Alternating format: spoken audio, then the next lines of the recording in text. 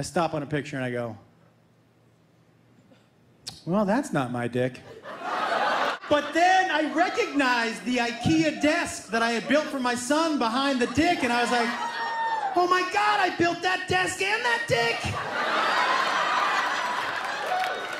He's sending people dick pics.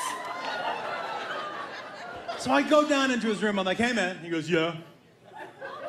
I go, um, want explain to me again how the cloud works? And he was like, oh, you're so stupid. And I was like, yeah, no, we'll see. I said, break it down for me real slow if you can. He goes, okay, Dad. You take a picture on your phone and it goes to the iPad.